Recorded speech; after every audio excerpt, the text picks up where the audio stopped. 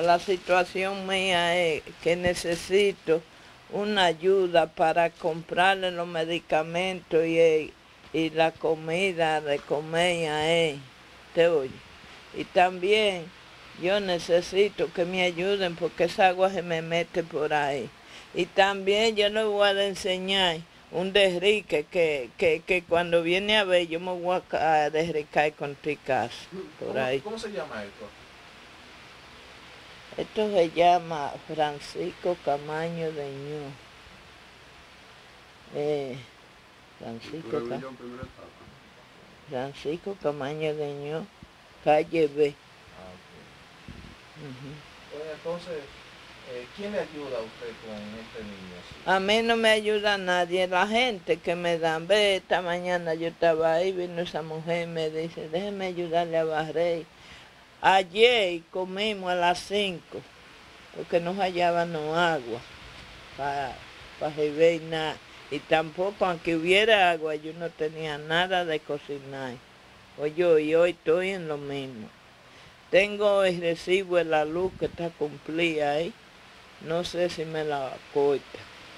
Te oye, agarrar de Dios nada más, que Dios es que sabe. ¿Qué pasó con los padres de este niño? El papá de él se me mató, que es el hijo mío, en un motor.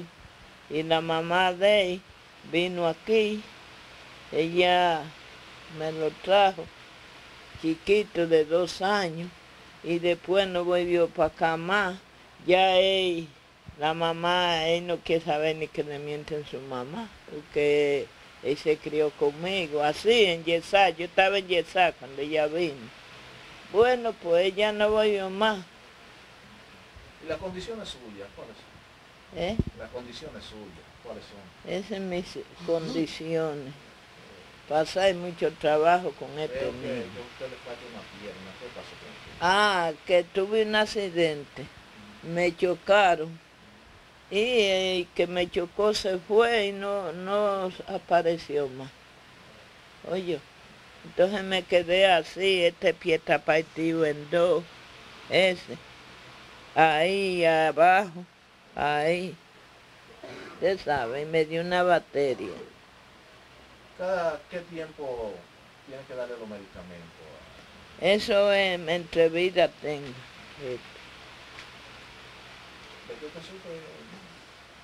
De epilepsia. Repita el llamado que usted le hace a las autoridades. Yo le pido a las autoridades de aquí, de San Francisco, que vengan a darme una mano amiga, que yo no tengo quien me ayude.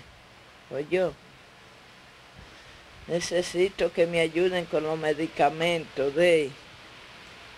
Yo no hallo cómo comprarlo. Oye, cuando se me acaba estoy poniéndome loca.